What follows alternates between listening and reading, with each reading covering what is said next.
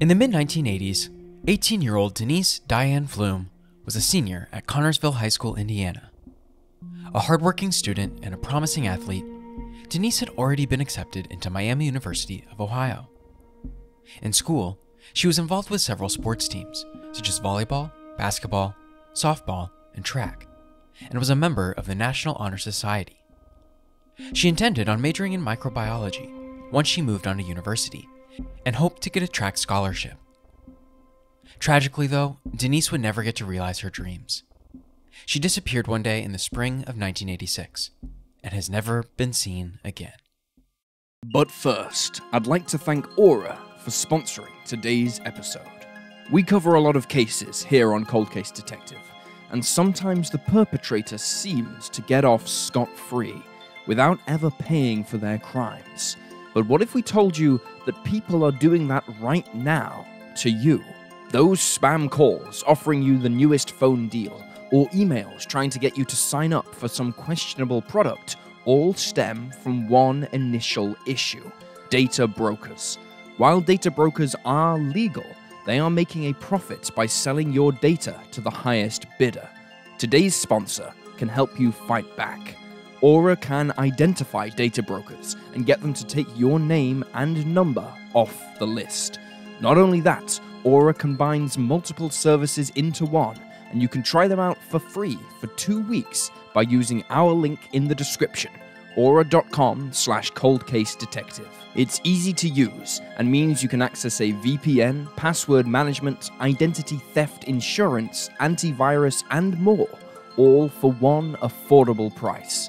Let Aura do the hard work of keeping your data safe online and stop the people profiting from your personal data. Use our link down in the description to try it out today and start your two week free trial. Have a look and see how much of your data is out there and available on the dark web. Take control of your data with Aura.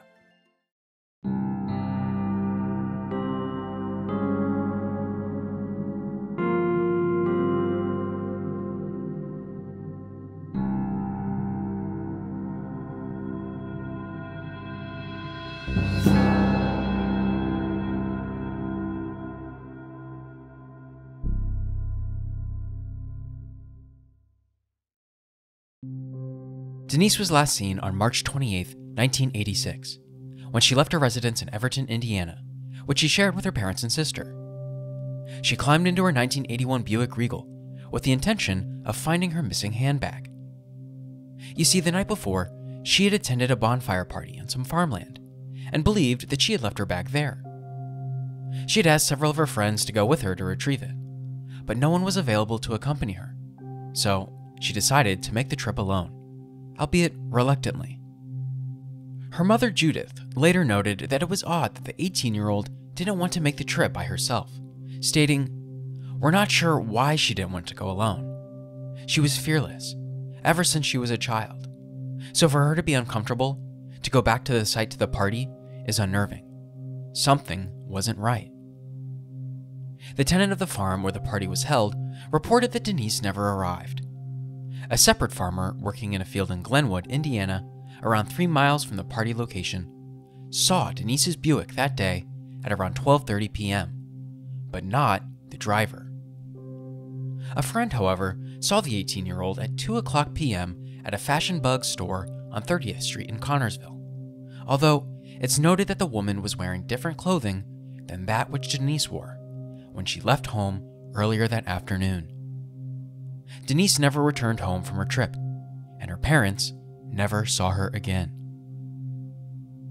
The farmer near Glenwood who'd spotted her Buick noticed it was still parked there the following day and notified the county sheriff's department as he speculated that the vehicle had been abandoned.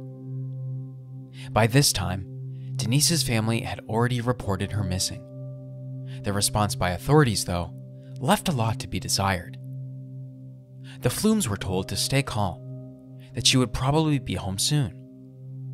But the police claimed she was likely just acting out, citing teenage behavior. Unsatisfied with this reply, though, Denise's family decided to try and look for her themselves, calling all of her friends, but to no avail. Afraid she'd crashed her car, they drove up and down the country, searching for their daughter, or any signs of a car wreck. Her father, David, recalled, quote, We do not believe that she ever went back to the farm.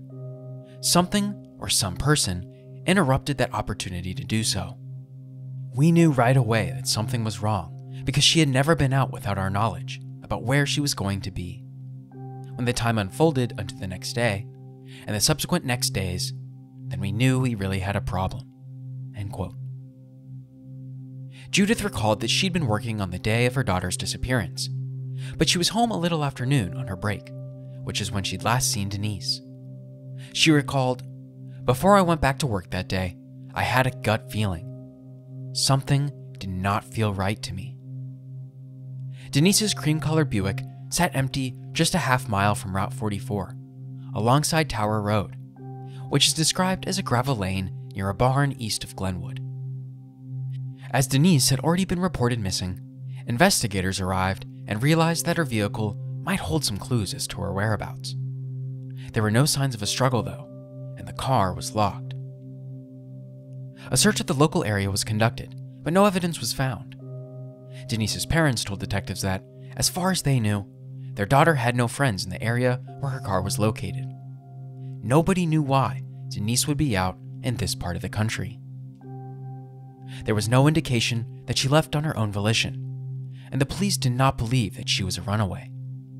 She was looking forward to university, was an active participant in school sports, as well as a straight A student, and furthermore, took nothing with her when she left home the previous afternoon. She'd left behind her ID and the carrying case and cleaning solution for her contact lenses. NBC noted that her handbag was returned to her parents by a distant cousin about an hour after Denise left home. But for whatever reason, there was no way to let the 18 year old know this.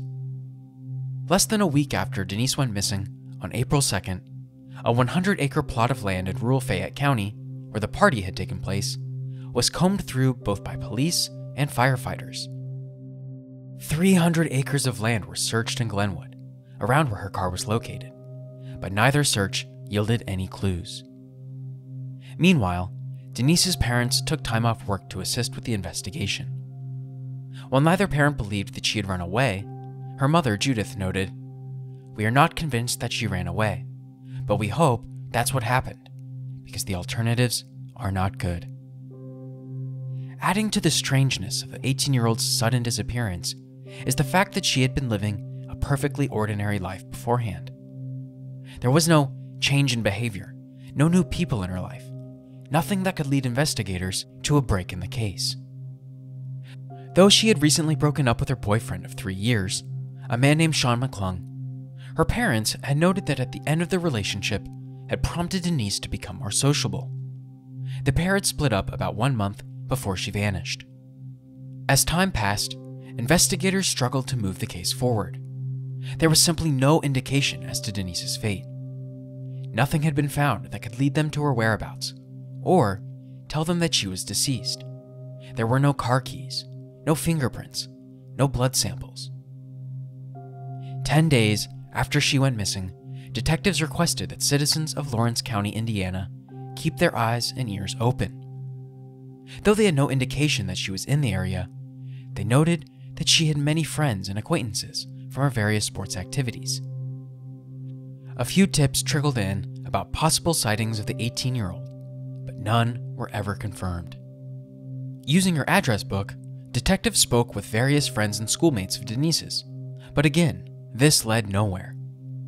Nobody had seen her nor heard from her. She hadn't mentioned anything suspicious lately, and her behavior had been completely ordinary. By all accounts, Denise was not the kind of young woman to run away from home. By May, a reward of $10,000 for information leading to her whereabouts was offered, though nobody ever claimed it. Little information came in off the back of this reward, and the investigation quickly dried up. With nothing to work with, detectives were forced to move on to other cases. On August 10, 1988, over two years after Denise went missing, her mother Judith received a phone call from a young woman in Norfolk, Virginia. Judith recalled, The girl said things that sounded too much like our daughter. We felt compelled to drive to Norfolk. The woman claimed to be Denise and had called on Judith's day off, which was information only Denise would know.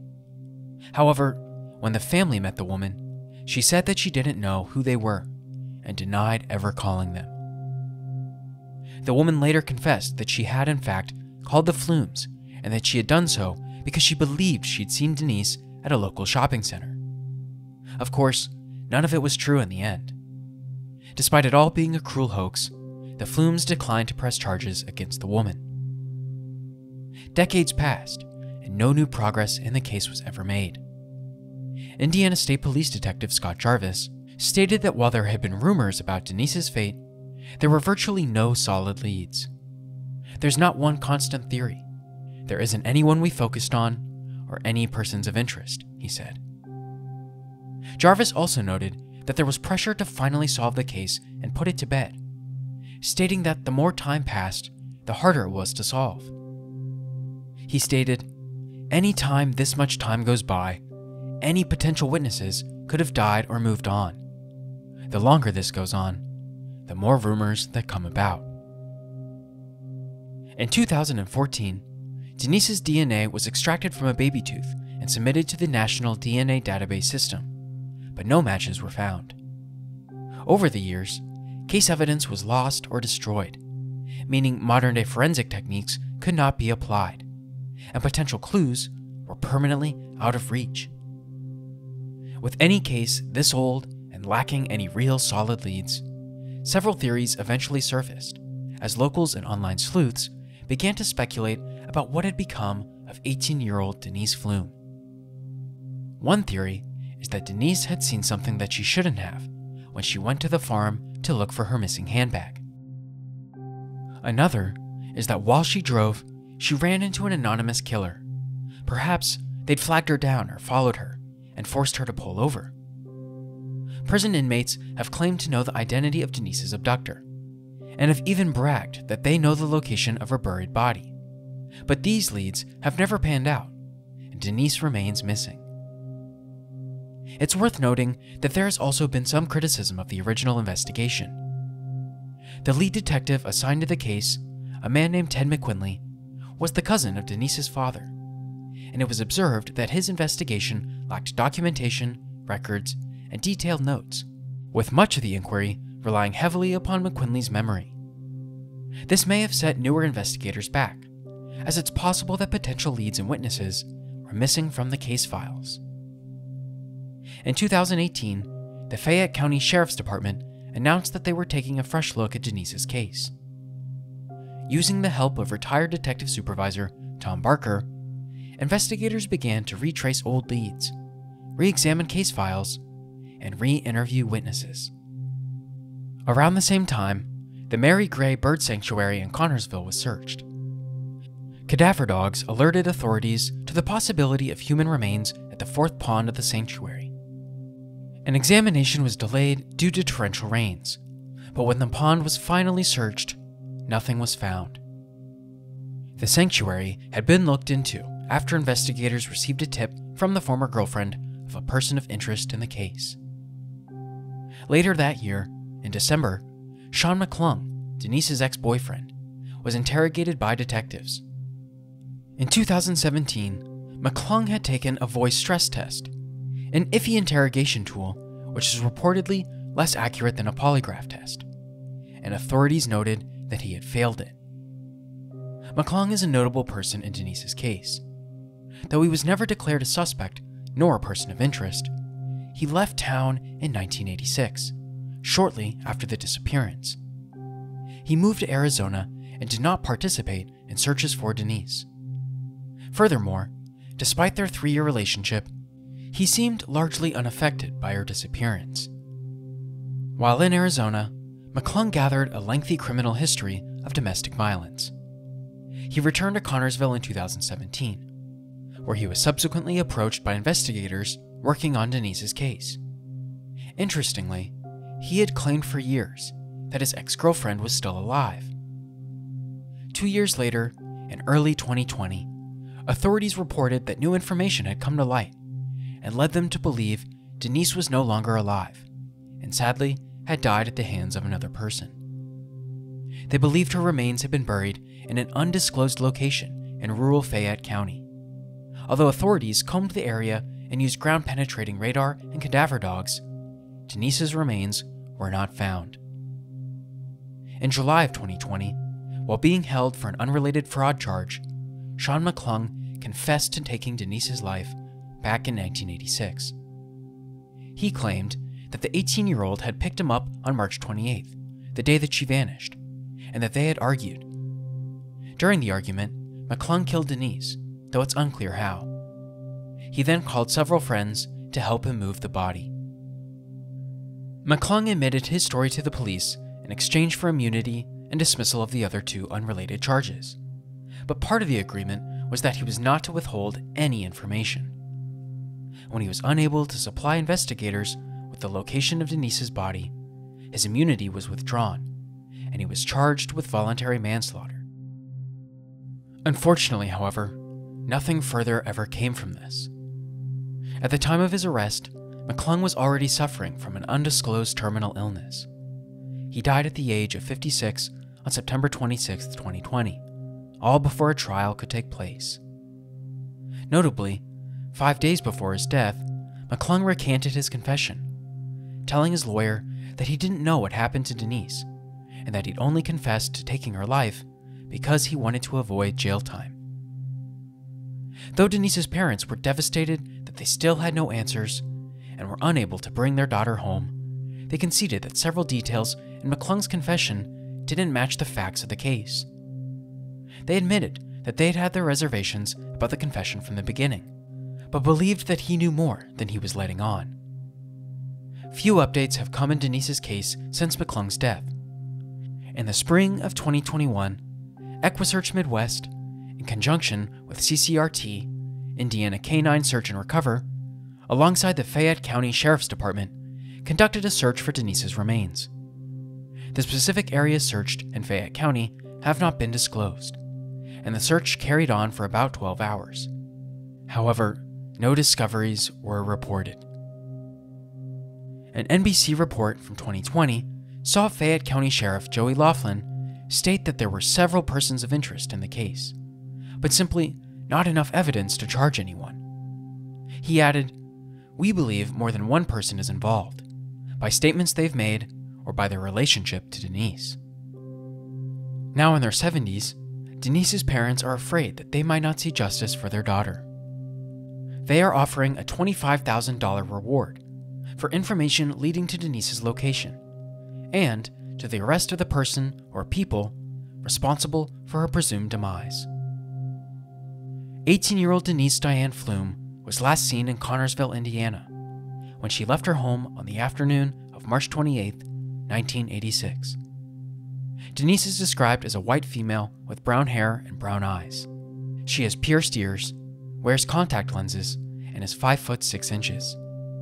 She weighed 135 pounds at the time of her disappearance. When she was last seen, she was wearing a red Motley Crue t shirt in a size medium, blue striped jeans in a size 11, white trainers in a size 9, and two rings. One is gold with a garnet, while the other is a silver class ring with a red setting. Denise was driving a cream colored 1981 Buick Regal on the day of her disappearance, though the vehicle was located in Glenwood, Indiana, one day after she went missing.